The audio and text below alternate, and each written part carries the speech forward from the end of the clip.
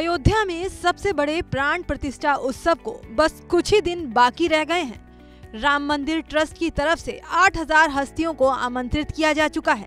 लगभग सभी लोगों ने निमंत्रण स्वीकार कर लिया है। वो बात अलग है कि न्योता स्वीकार करने के बाद भी कार्यक्रम में विपक्ष के कुछ नेता शिरकत नहीं करेंगे इस बीच रामलला के न्योते को लेकर कांग्रेस में घमासान छिड़ गया है, क्योंकि कांग्रेस के दिग्गज नेताओं के निमंत्रण अस्वीकार करने के बाद से कुछ नेता इस फैसले से खुश नहीं हैं। इसी कड़ी में यूपी कांग्रेस के पूर्व अध्यक्ष और अयोध्या के पूर्व सांसद रहे निर्मल खत्री ने अपनी ही पार्टी को नसीहत देते हुए ये ऐलान कर दिया कि वो 22 जनवरी को अयोध्या ज़रूर जाएँगे कांग्रेस नेता निर्मल खत्री ने सोशल मीडिया प्लेटफॉर्म एक्स पर एक लंबा चौड़ा पोस्ट लिखा, जिसकी कुछ अहम बातें हम आपको बताते हैं। इसमें उन्होंने कहा, राम भक्त होना कोई पाप नहीं है। मुझे इस भक्ति पर गर्व है और मुझे इस बात पर भी गर्व है कि मैं प्रभु राम की नगरी का निवासी ही नहीं, वरन मेरी जन्मस्थली और कर्म भूमि भी अयोध्या है। सभी धर्मों के लोगों को अपने इष्ट देवों पर गर्व करना भी चाहिए। खुद को सच्चा राम भक्त बताते हुए निर्मल खत्री ने आगे लिखा, मैं धर्म के पाखंड का विरोधी, धर्म के सहारे राजनीतिक लाभ लेने के हथकंडे का विरोधी हूँ। ईश्वर के प्रति भक्ति और आस्था मुझमें है।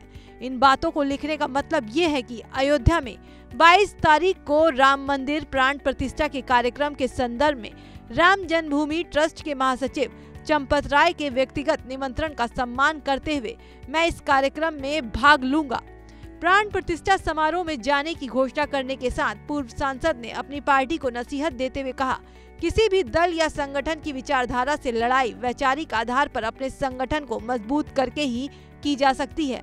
न कि कोई जवाबी इवेंट करके। एक सच्चा कांग्रेसी होने के नाते मेरा ये आग्रह है कि इवेंट की राजनीति को छोड़कर हम अपने विरोधियों से वैचारिक धरातल पर अपने संगठन को मज़बूत करने और उसके द्वारा जनमानस में भी अपनी भावना का प्रचार प्रसार करके ही कर सकते हैं।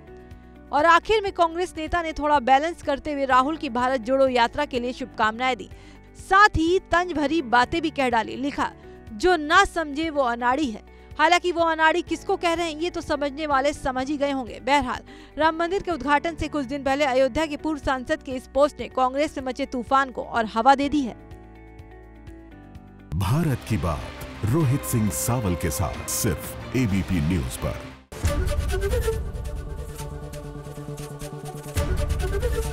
एबीपी गंगा खबर आपकी जुबा आपकी।